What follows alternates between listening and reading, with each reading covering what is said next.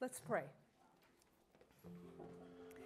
Heavenly Father, thank you so much for the truth that no matter how we feel about ourselves, that we are daughters of you. We are daughters of the King. And Lord, I thank you for this um, incredible scripture that we're going to be taking a look at this morning that, in a strong, strong way, teaches us the truth of that, that concept, Lord, that we belong to you. We are your daughters. We are royal princesses, daughters of the king. Wow. And so, Lord, I just pray this morning, Holy Spirit, would you work with us? Would you be in our midst? Would you speak to our hearts in a mighty way? Lord, we open ourselves up to you to hear that concept that we need to hear so desperately. So be here this morning, Lord Jesus. I know you are. And I just pray that you would strongly minister to us and speak to our hearts. Lord, I thank you for these women who have gathered to learn more about you and to be a part of. Um, a, a, group of women that can share their hearts about your scripture and what you're teaching all of us.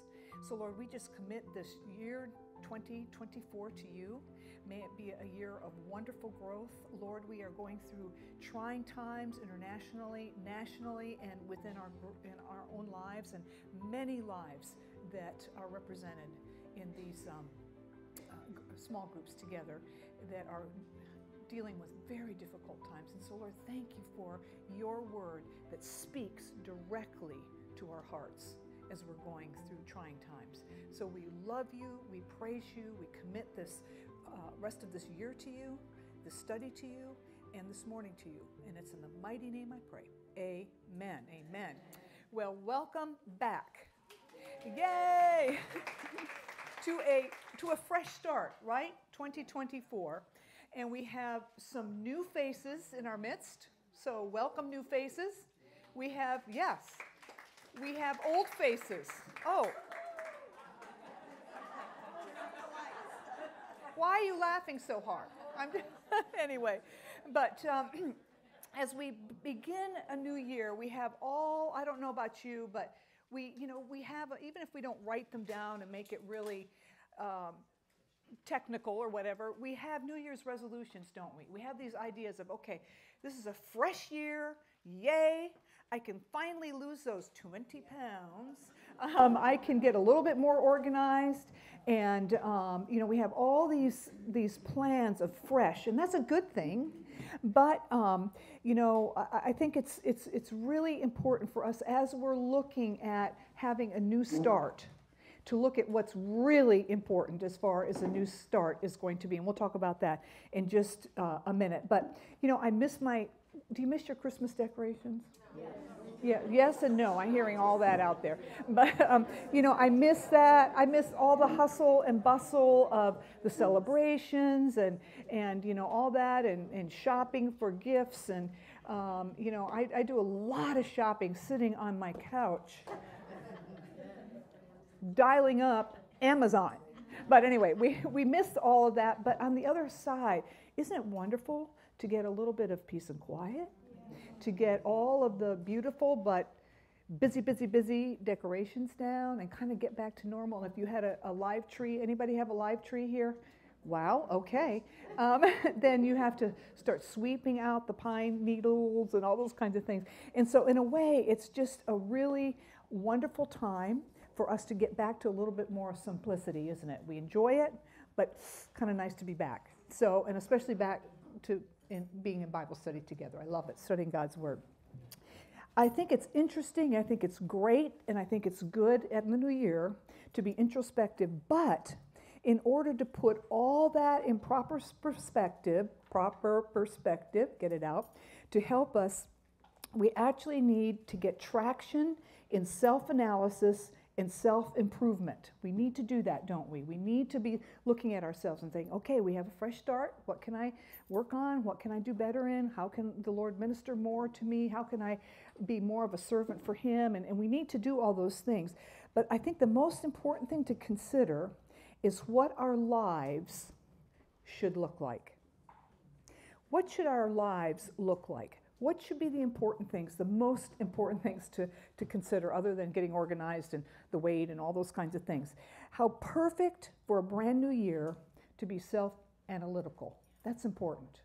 But what we want to really be self analytical about is our hearts and where we are with that and how we are how we're relating with the Lord and to think about the most important consideration which is on your outline what is the daughter of a king the king like what is the daughter of the king like and so as we begin this new year and ponder that concept we're going to begin our study in a beloved, informative psalm that is not one of the Psalms of Ascent. Next week, we'll get back to the Psalms of Ascent, but right now we're going to take a break as we begin our study um, in Psalm 119. So I know you already probably have it because you talked about it in your small groups, but Psalm 119, verses 9 through 16. It is the longest psalm, the longest song, heart song in the Bible. In fact, it's the longest chapter in the entire Bible as well, longest chapter. So today, our focus, 9 through 16, addresses purity. Purity. We're going to take a look at that and see what that means. Now, all of us, have you, um, when you were a little girl, did you watch all the, the princess movies, Cinderella, Snow White, and, and all that? My granddaughters are obsessed with the uh, princess concept and that my youngest hope four years old she has all the, the costumes that she wants to wear and you know and she'll go to an event and have a, a princess costume on i think as women we kind of obsessed about that you know even in our day but um, i think the interest from that in that comes from an innate desire that all of us have to quote live happily ever after doesn't every fairy, fairy tale kind of end? They lived happily ever after, and we're like, wow, that just sounds wonderful. And so I think that that desire to be a princess has that. Uh, that concept that, that we want to live happily ever after. And we also want to be a princess in the sense that we're special that we're special. There's something unique and different about us. We're a princess. We want to be special and different, and um, that we are worth being loved and paid attention to. We all have that desire, and here it is. Are you ready? God designed us to be that way. He designed us to desire to have a, be special to be a princess, quote unquote. If we have a personal relationship with the King of Kings, guess what? We are princesses. We are princesses. In fact, royal princesses of the King of Kings, the Most High God, the Alpha and Omega, and the names go on and on and on. We get to be princesses of the Most High God. That should be life changing, shouldn't it? that should really affect how we view ourselves and how we react to other, other, uh, other people. But unfortunately, we don't feel like princesses too much because our culture has played a role in that. Unless we look like Taylor Swift or um, have a, a, a, lucrative career with Amazon or Apple or um, uh, have a, you know, or, or we're a Hollywood star or something, we just don't feel that feeling of, I'm special, I'm a princess, I belong to God. We, we really struggle with that, I think.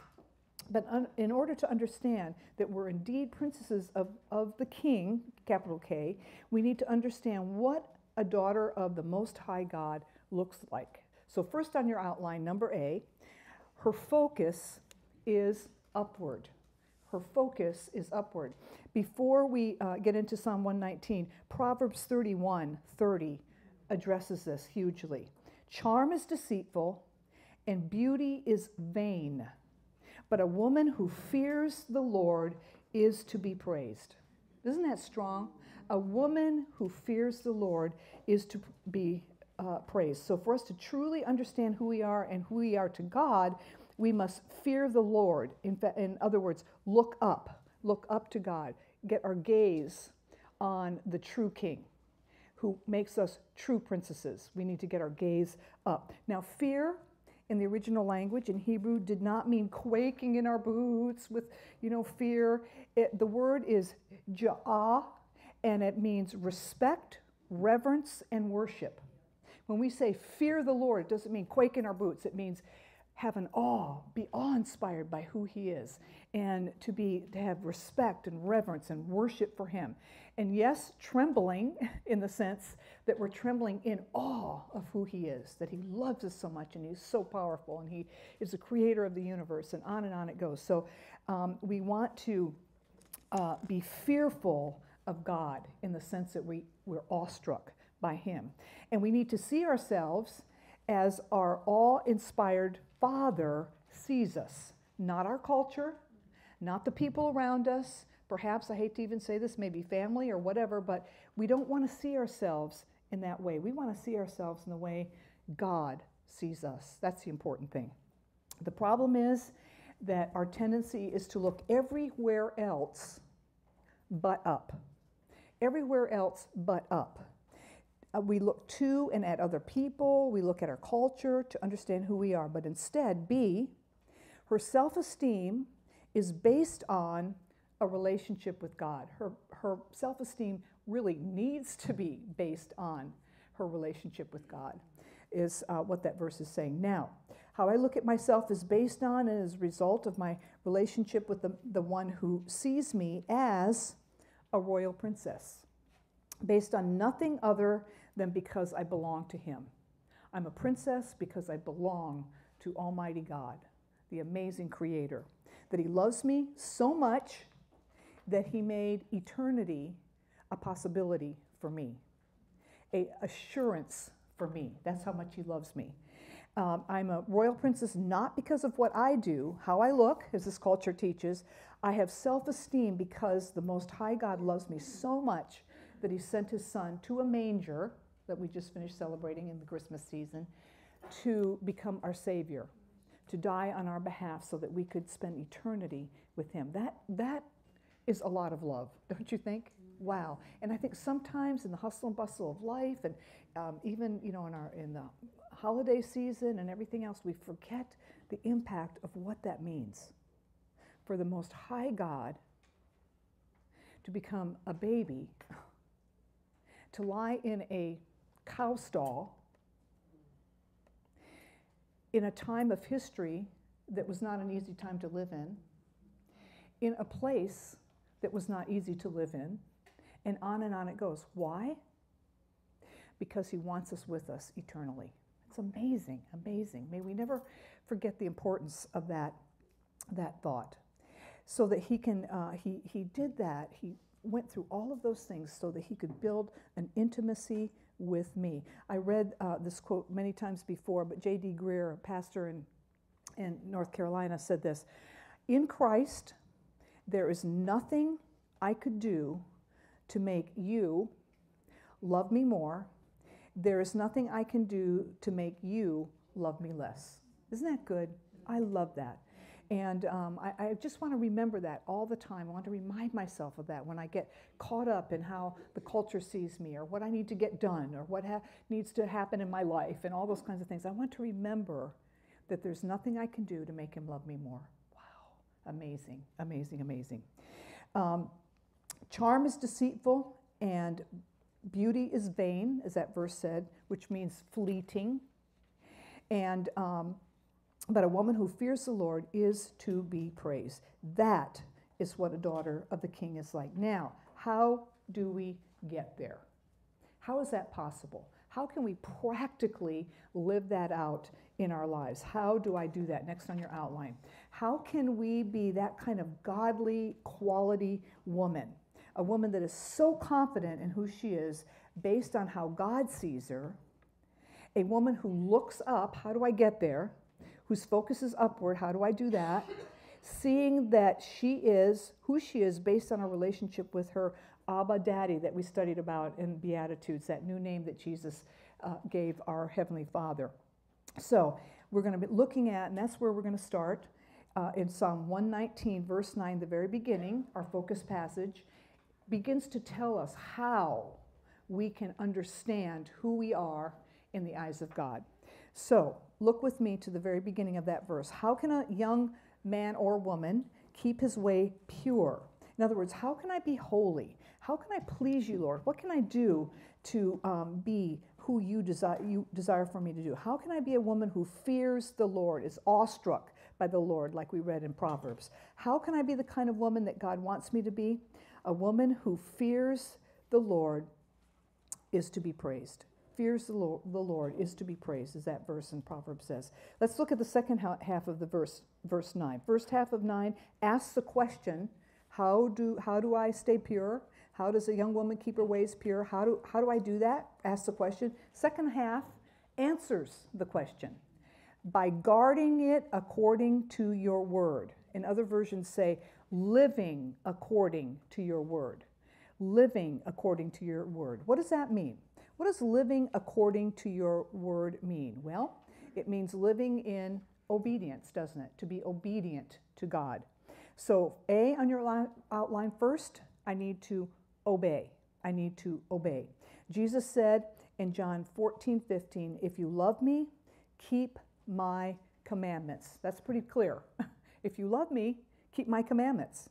Throughout Scripture, God has instructed us that our intimacy with Him is based on our faithful obedience to Him. God's commandments are not to cause us to have boring, miserable lives. Like sometimes we think, oh my goodness, I don't know, you know, what, what are some of those commandments that I have to keep? And oh, is, is it going to just kind of, you know, tie me up in knots? Or, you know, what does that look like? And we need to remember that God's commandments are just the opposite, that they are to give us full, give our lives full of joy and meaning. And when we don't follow His good plan for our welfare, we disconnect in relationship with Him. That doesn't mean we lose our relationship with Him, but we can disconnect from Him when we're not being obedient to following His commands. If we disobey, we disconnect. He doesn't love us any less, like we just talked about. We disconnect. When we are unfaithful to our relationship, we can cause ourselves deep pain. Now, let me give you an example. What if I said to Bob, oh, I, of course I love you. I love you, love you, love you. But um, I'm going to live my life just kind of the way I want to live it. I'm going to kind of do what I want to do. I'm going to go where I want to go. I'm going to see who I want to see. I'm going to, um, you know, go on trips by myself and all that. Oh yeah, I love you. Now, how would that be received? Not so well, right? Because when we say I love you to somebody, our actions need to demonstrate that love. How much more to our perfect Heavenly Father. Our lifestyle, our obedience needs to be to Him to prove that we have a relationship with Him, that we love Him. For my relationship to grow and flourish, I need to be faithful to Him and to our relationship. Uh, I have got to respond to relationship rules that God has given us because they're for our own good, for goodness sake. They're for our own good. I need to be living according to your word, as verse 9 says, obedient. Now, how do I do that? The verse goes on to say, look at verse 10 with me. With my whole heart, I seek you. Let me not wander from your commandments. So, first, obey. Secondly, I seek. I seek. What does that mean? Great place to start. Uh, to pursue or search is what seek means. How, do, how are we to do that? How do we pursue or search? In the verse, it says, with my whole heart, which means number one, I seek with diligence. Diligence. That, that, that means when I seek with diligence that it's going to be a priority. It's not just haphazard, oh, yeah, you know, I feel like seeking you today, or, you know, I, I feel like I want to have a connect with you today, God. No, it is something that is a priority in our lives, not just haphazard. Now, think about this. If you were seeking, you met somebody in Bible study, you said, Wow, I really connect with her. I'd love to develop that friendship. What would you do? You'd ask her out to lunch, you'd call her, Hey, how can I pray with you? and all that. We do things to develop relationships, don't we? How much more with our mighty God who loves us unconditionally? it's kind of like uh, when you first fell in love. And you all know that I met Bob at um, Maryville College and um, about December or, or, January, February, things started really escalating. And wow, I, we were starting to think, is this going to be, you know, a permanent relationship? And so, guess what we did? We started spending a lot of time together. And um, so don't ask me about my spring term grades, please, because. but isn't that the truth? That when we are developing a friendship or falling in love with somebody or whatever, that we spend, we love spending time with him. We seek. And that's the idea here in this verse. There was a young woman in one of the Bible studies earlier that had just become a, a Christian. She just started studying, and she was blown away by all that the Bible had to say. And she says, Now, how, tell me, how do I get one of those study Bible things? Where I can get in deeper and deeper and deeper. And I just thought that was so beautiful. She, she was developing this relationship with her father, and it caused her to want to seek him in a deeper level. Wow, that's what we're talking about. Not only diligence, but closely related. Number two, I seek with persistence. Persistence. I keep up with the diligence. Not only am I diligent for a day or a month or a week, um, not just for January, oh, new start, so I'm going to really you know, spend time with the Lord. And oh, okay, February things are getting a little bit busy, and then March, oh, and then we have summer. Oh my goodness! And sometimes we kind of dip down, don't we? And so we're we're supposed to pursue with diligence, not only diligence for a day or a week or month, but I persist. I persist in it. Um, if we spend only a few minutes a week or even a day, how will that relationship really grow? Put another way, think about the most godly person you know, somebody that you respect the most spiritually. Maybe it's your pastor or his wife, or maybe Beth Moore, or maybe Billy Graham or Ruth Graham or something like that. And, you, and think about that. You think, wow, if I could spend an hour with Ruth Graham, wow, that would be life changing in my walk with the Lord. Um, but don't you think that your attitudes and your ways of reacting to things would be radically and dramatically changed if not only you met with somebody that was a strong believer, but God Himself? Would that radically change us? Absolutely. With the King of Kings, wow, what a radical and life changing experience that would be. So I challenge all of us to make an appointment with God every single day, to commit to spend a block of time with Him persistently, diligently. No, diligently, persistently. I'm going with the outline there. but anyway, uh, in this new year, because it will radically change our lives. Radically change our lives. Not only make it, but keep the appointment. Don't we do that sometimes? Oh, Lord, just oh, so busy. I got to keep this appointment with the doctor's office or with my haircut and we tend to think those things are of so, so much importance to keep the, uh, you know, the appointment. And then yet we can say, okay, Lord, I'll get back to you later on today. Oh, goodness. And oh, my goodness, I'm going to bed and I never did have my Devos. Spend time with the Lord. Wow. Anyway, we're so careful about human appointments, and yet sometimes why, uh, uh, for some reason, we are not diligent about keeping our appointments with Almighty God. Wow. So, three, I seek with communicating. Communicating. How do I do that? Like any other communication, when we're communicating with God, there's a give and a take. We pray to, with Him, we talk to Him. And then so often He'll speak right back to us through His Word. How many times have you been you know, maybe with me I journal and I'm struggling with something and trying to understand something and talking to the Lord through journaling. And then all of a sudden I'll go to open that the passage of scripture I'm reading that day and I'm like, Jesus, are you sitting right next to me here that you heard me say? Yes, he is. and the point is that so often he will give us words right back from his word to help us understand something that perhaps we're struggling with or praying diligently about. So it's a communication. Um, it's um, opening God's Word and reading uh, uh, what he, he puts in front of us or studying your homework. Uh, we want to be so careful about not just having a five minute reading some five minute tidbit from somebody else's opinion about the Lord. We want to communicate with Him. We want to communicate with Him. Um, it's, um, you know, we, we, we need to not only read um, His Word and study, but um, we need to be praying. And um, praying sometimes can sound very daunting, does can it? it? Sounds so religious sometimes, like, you know, do I need to speak in King James Version? Our mighty Heavenly Father. I worship thee today.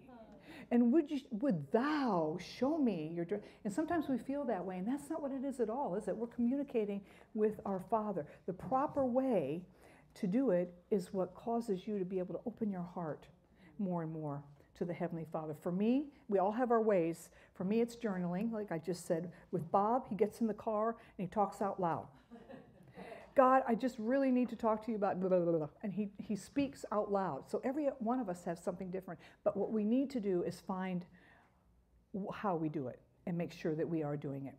There's an author that I read a while ago, and what she loved to do was set the stage to meet the Lord. You know, she would make it special. She'd have an extra pot of coffee going, and she'd have a scented candle, and she'd always be in the very same place every day when she would meet him. And that made it be such an occasion for her as she began her day. Um, I love that idea. Then, look with me at verse 11. I have stored up your word in my heart that I might not sin against you. So, first obey, then seek, and then see. I hide his word in my heart. I hide his word in my heart. Now, that says to me, memorizing his word. Wow, that's a bit daunting, isn't it?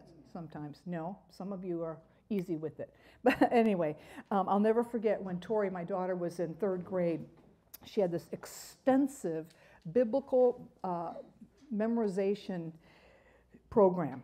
And I would just roll my eyes to myself and think, oh, I, mean, how many how long are we going to have to spend on this where we get this before Friday when you have to, you know, repeat this this memorized verse? And um, I was just like, ugh. But uh, anyway, and so one weekend we were invited by some friends who owned a boat. And they invited us to go out into the ocean. And as we were out there, um, a storm started brewing. And we started going up and down and this, and we were all terrorized. And so I'm kind of looking over to see my kids and how they're reacting because they're with their friends in another section of the boat. And I saw Tori kind of holding onto the side of the boat, and she's her her lips are moving. And I thought, oh boy, I better go check on her and see what's going on. And so I went over. and I said, um, "Are you okay, Dolly?" And she goes, "Oh yeah, I'm just um, I'm just saying my memory verse that I was learning for this week. I will never leave you or forsake you. I'll never leave you or forsake you. I'll never leave you or forsake you." And she said that helps me not be afraid. And I thought, wow, I'm t- talk about conviction by your own child, you know, and how important she had hidden God's word in her heart. And so when she was in that critical moment in her little young life, it, came back to her and ministered to her, her and helped her. Wow. Another incident uh, years ago, we were studying the book of James. And this mom came up to me and she said, You know, I'm homeschooling my children, and my son um, has wants to um, memorize scripture. And she said, interestingly enough, he this week was memorizing some sections in James. Would you mind if he came up during the opening time and um, recited the, the, you know, his verses from James? And I said, oh yeah, that'd be wonderful. So he came up, he recited the entire first chapter of James. Talk about intimidating. Wow. Talk about life changing, amazing. So when we hide His word in our heart, it is so powerful in our lives. What is it that you struggle with? You don't have to say it out loud unless you want to, but anyway. First, is it guilt? Is it fear? Whatever it is that you struggle with, there is a scripture that will speak directly to your heart. Directly to your heart. Is it a hectic lifestyle, stress? Well, how about this one? Peace I leave with you. Let not your hearts be troubled. What is it? Fear. I am your refuge, refuge and strength, a very present uh, help in times of trouble. Hide it in your heart because the rest of the verse says, Let me not wander from your commandments, so I do not sin against thee when you're fearful, full of anxiety, guilt, or anger, or resentment, or whatever it is, all those are wrong attitudes and reveals that we're not trusting God, right? And it's, it's causing a disconnect with God. So as we struggle with things that we are going to struggle with in this fallen world, if we can give them to God and find verses to quote and ask His help in those times that we feel fearful, stressful, guilty, or whatever it is. Do you ever feel like you're losing it? Me regularly? This morning when I couldn't think of that name?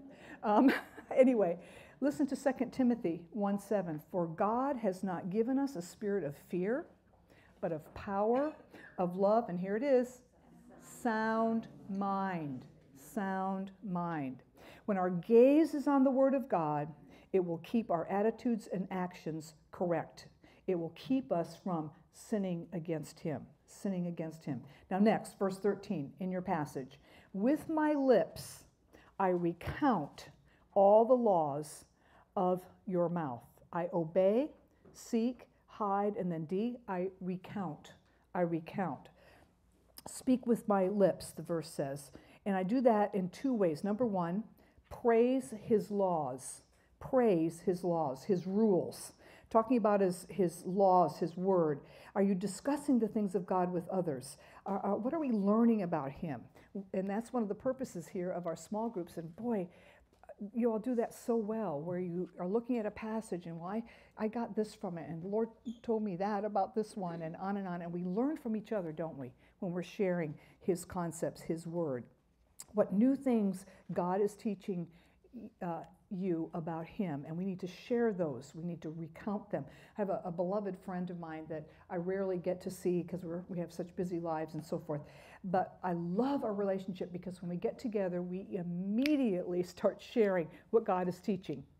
And um, we always say to each other, Malachi 3.16, and that verse says, Then those who feared the Lord spoke with one another. The Lord paid attention and heard them, and a book of remembrance was written before him of those who feared the Lord and esteemed his name. Isn't that a great verse? In other words, as we're sharing around our tables, as we're sharing with a, another friend, as you're struggling perhaps with something and, and, and, you share it with a friend and we talk about it and talk about scriptures, guess what? The Lord is up there writing your name in a book. Now, that's in our perception. But the point is, he sees it, he remembers it and it blesses his heart when he sees his princesses sharing about him. Wow. When we regularly are spending time with him, he will show us incredible things about him that we will be excited about. I recount with my lips his word. Secondly, I will praise him. I will praise him.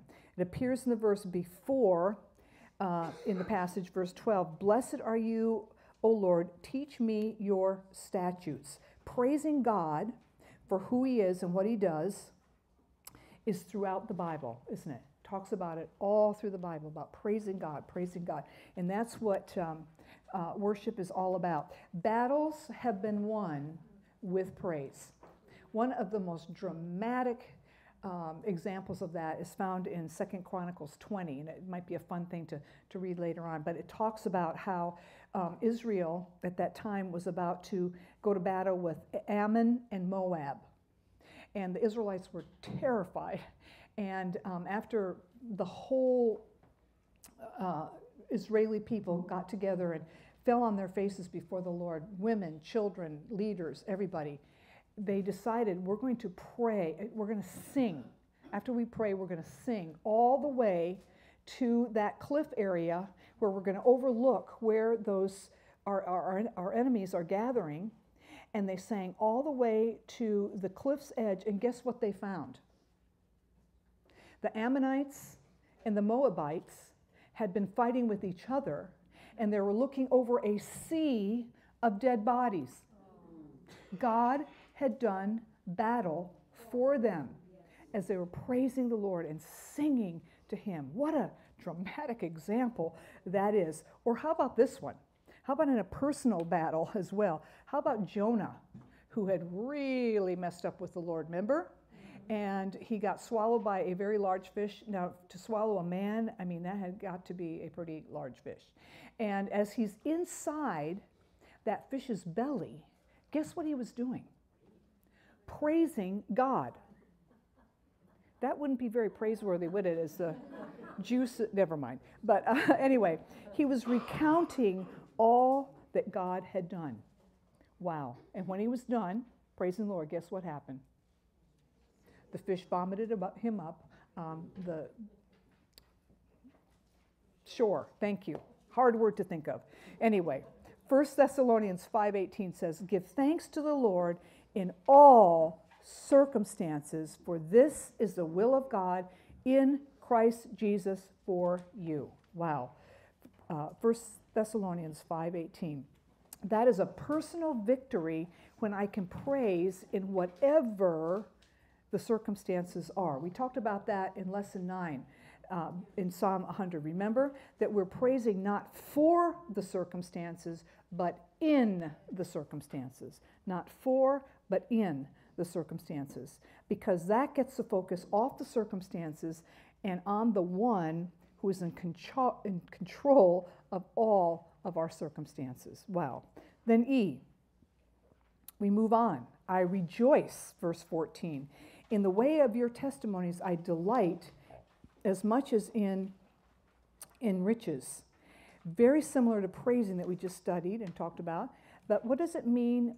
Uh, what does it say we delight in the way of your testimonies?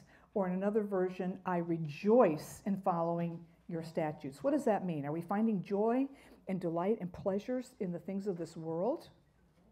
Uh, what causes us to rejoice? The great riches, as it says in that verse, are we jaded by the world? That only worldly things make us rejoice, things, experiences, trips, whatever. Is that what, ooh, that makes me so rejoicing in my heart because I get to do or have or, or see or whatever. Um, or being involved in something big. If I can just, ooh, if I could have a position of leadership or something big to do, you know, for the kingdom. I'll never forget, some of you will remember the name Cora Morgan, who was an amazing Bible teacher in Dade County. And she taught hundreds of women for years and years and years. And um, then in poor health, she started, as she was uh, getting older and her health was uh, sliding a little bit, she slowed down hugely. And I remember one time I had the uh, opportunity to just talk to her about that. And I said, um, You know, what are you doing now that you know, you, you had all these, I didn't put it like this, but this is what I was talking about. After having such an impact on so many women, what are you doing with yourself now as you're kind of backing off a little bit and you're not teaching really anymore? And she said, Oh, oh I had the most wonderful life. She says, I get to communicate with the Lord all day long. And she would, you know, if she did her exercises in the pool or whatever, she'd sit on the edge of the pool and pray, pray, pray. And she said, I just have this opportunity to just communicate with the Lord all day. She says, it's wonderful. And you know what she was doing? She was praying for all the ministry people that she knew across the globe missionaries, leaders, pastors that she knew. She even prayed for Sheridan House. And um, she, she used that time to, to call on the Lord. And I remember thinking, wow, you know, um, from a human perspective, that just seems kind of like a small task for the kingdom. You know, when you think about all the people that you taught and blah, blah, blah, blah, blah, and it just seems like a small thing. But you know what? It's probably the most important job she did for the kingdom in all of her life combined. Don't you think? Committing all of these ministry people to the Lord. Wow, what an amazing, amazing situation. She was rejoicing in following his statutes, following his bidding, delighting in the test, her testimonies. Uh, in in um, my mother's latter years, when she was in a retirement community, there was another pastor's wife that she and my mom just loved music and they would get together, you know, every couple days or once a week or something like that, and um, they would sit in my mother's room and sing the top of their lungs. And they'd sing choruses and they'd sing hymns and they'd, you know, sing all these things that had, had ministered to them through the years. And um, one of their favorites was a song that you all probably remember Make Me a Blessing. Make me a blessing out of my life. May Jesus shine. May Jesus shine. And that was their heart in their later years, just like Corabel's. And notice it says, Out of my life may Jesus shine, or as the verse delight when we uh, when things doesn't they're not saying when things are going my way. I'm just going to praise the lord. I'm going to rejoice. I'm going to ask you to make me a blessing. When god answers our prayers in the way we desire them to go it is a choice to tr- when the it is a choice to trust him and then in his love for us we will do what is best for us god knows doesn't he he knows what is best. He knows what is best for us, even though it may not seem like it from a human perspective. He is in control. That should cause us to rejoice. Next, IF, I meditate, verse 15. I meditate on your precepts and fix my eyes on your way. It says your precepts, which means your principles or advice that you give. Number one, what am I filling my mind with? With what am I filling my mind? We are such a noisy generation, aren't we?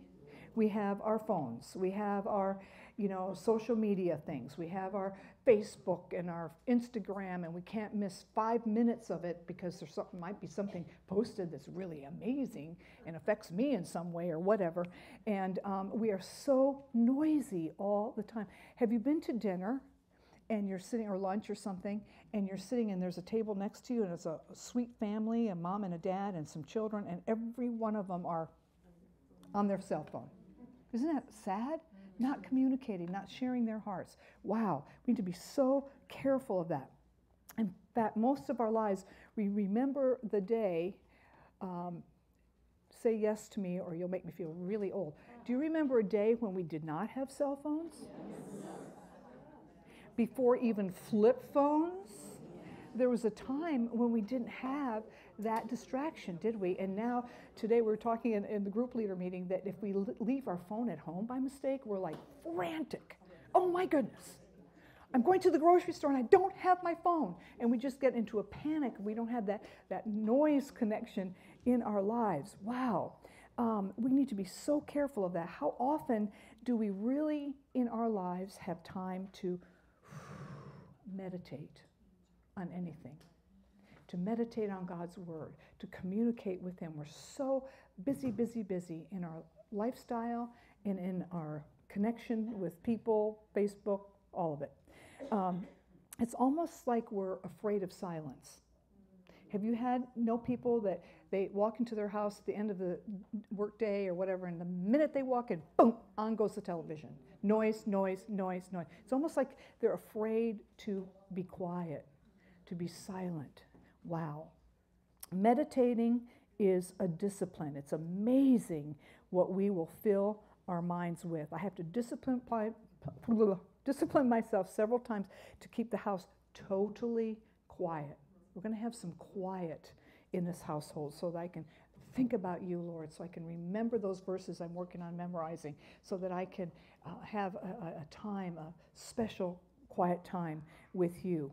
With our hectic lives, it's not only necessary, it is mandatory. It is mandatory. How can God speak to me above all that noise? How can He speak to me? I have a plaque that somebody gave me years ago and it says, Be still and know that I'm God. And I have it posted right above my sink so that, you know, the kitchen is all, usually the area where I'm going to be the most in the day. And I see that and it's like, That's right, be still and know that I'm God. I can't really know who God is completely and totally unless I'm quiet, silent before Him. I remember someone said to me that um, when she was driving, she finally she decided to finally turn off her car radio because she kind of she said I kind of felt like God was saying to me I refuse to com- compete with the noise in your life. Compete with the noise in your life. We need quiet to hear the voice of God in our lives. And secondly, two, what am I pondering? And if my life is too busy, how do I have time or a situation where I can ponder anything of value? I think that's one of the most interesting words that describes Mary, the mother of Jesus, in the Christmas uh, scriptures, talking about her pondering. You know, when the wise men came, she pondered these things in her heart. And I think that, that God used that.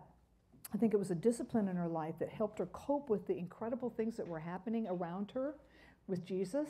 And then finally, in the end, when he gave his life and then was resurrected, I think her pondering all these things in her life helped her tremendously as she dealt with things that were going to be happening to her.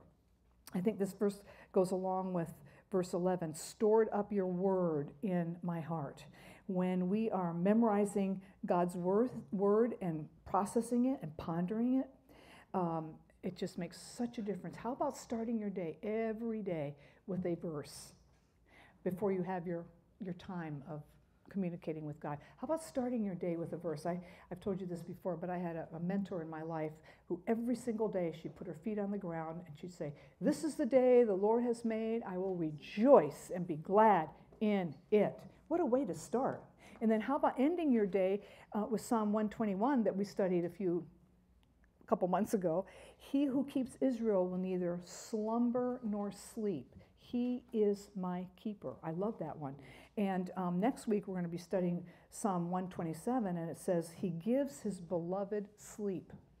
Can I tell you how many times I prayed that one in the night? Lord, I'm your beloved. Please give me sleep at 2 a.m. But anyway, um, beginning your day and ending your day. And then next, G, I delight. I delight. Look at verse, the beginning of verse 16. I will delight in your statutes. Number one, what do I delight in? Honestly, really. What do you delight in? Think about your life and what brings you the most joy and pleasure. Is it a wonderful meal? Is it uh, chocolate?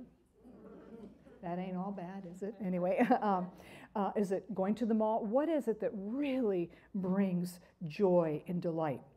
A woman who's looking up delights in God's statutes or decrees and in Him.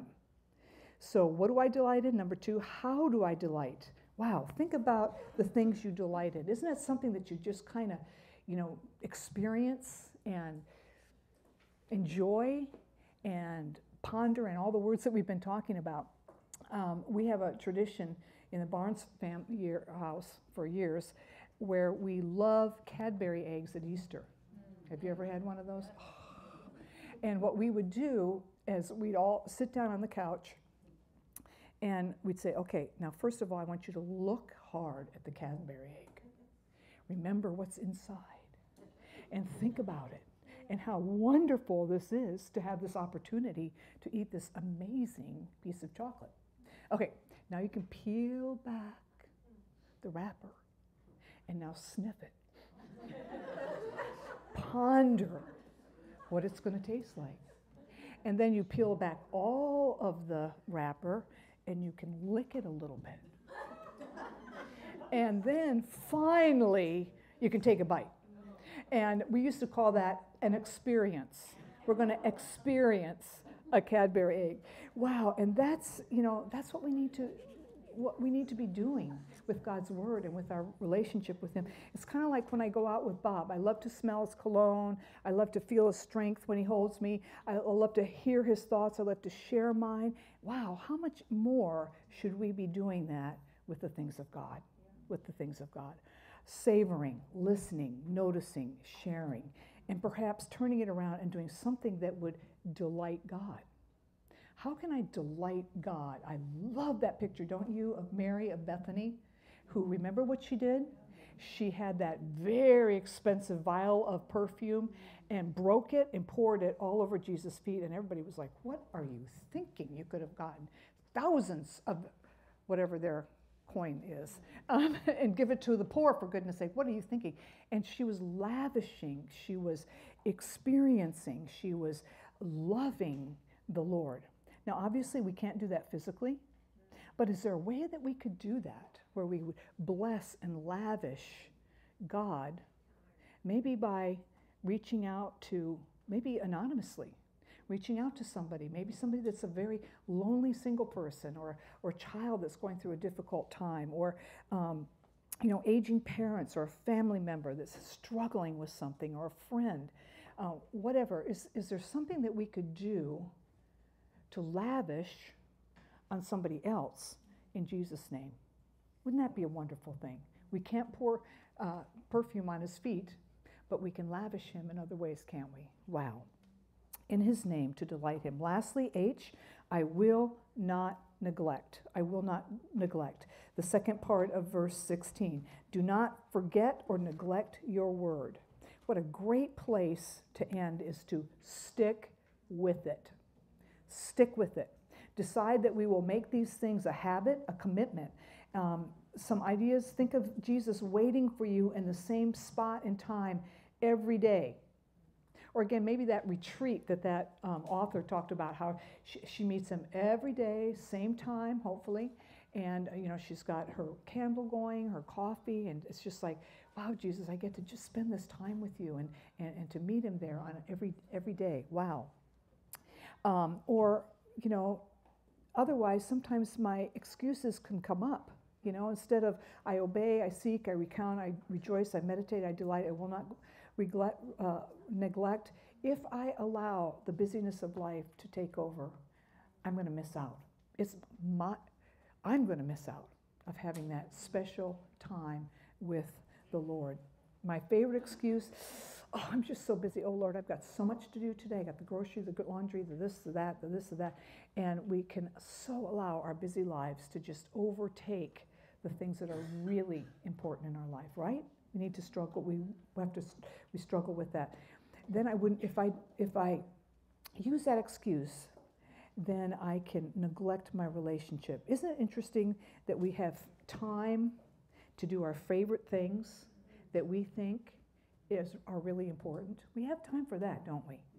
But if we could change our perspective and make our time with the Lord the most important. What a blessing it would be in our lives. There's a uh, one of the presidents of Wheaton College in uh, Illinois years ago. His name was Dr. Edman, and he began every day at five o'clock in the morning praying for each one of the students by name. And as God began to bless that college, and the numbers grew, and uh, so far, instead of saying, "Oh Lord, you know what? my responsibilities are growing so much. You've blessed our college by growing and um, all that, but I have so many more meetings and responsibilities. How about if I um, kick it back to one time a week? I'll pray for all the students. Instead, guess what he did? He got up earlier and earlier and earlier every morning so that he could pray, continue to pray for every student by name. He ended up getting up at 3 a.m. Wow. Now, let me tell you something. During his tenure, you know who some of his students were that graduated from there? Ruth and Billy Graham. Jim and Elizabeth, thank you. Elliot. Um, Josh McDowell, just to name a few of the people that were prayed for every day. And is it okay to say my parents were there too? then. Anyway, um, but he, in his, as he's praying, God raised these leaders. Wow. What a testimony. What a testimony. How do I keep my focus up? What does a daughter of a king uh, do to conduct herself?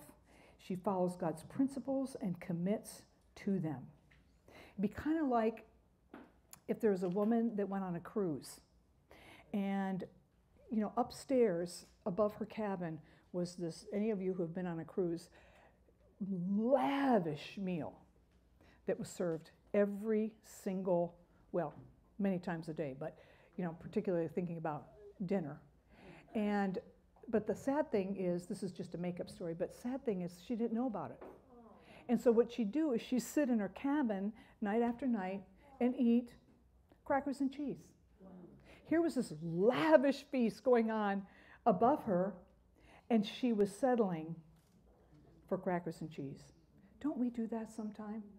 We, God has a sumptuous feast ready for our lives, and we don't want to miss it by settling spiritually for crackers and cheese in our lives. Wow.